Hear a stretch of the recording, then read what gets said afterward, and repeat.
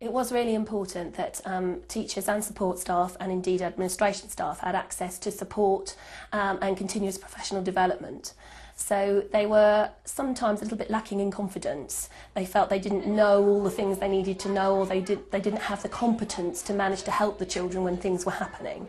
So I accessed and um, made sure that they could access lots of opportunities for training, both from myself, from um, external support, and from each other.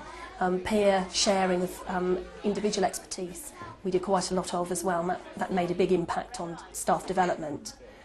I also ensured that um, all staff had ICT as an objective in their performance management.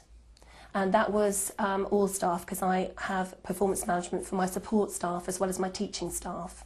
And so everybody was trying to develop and raise standards um, through using ICT.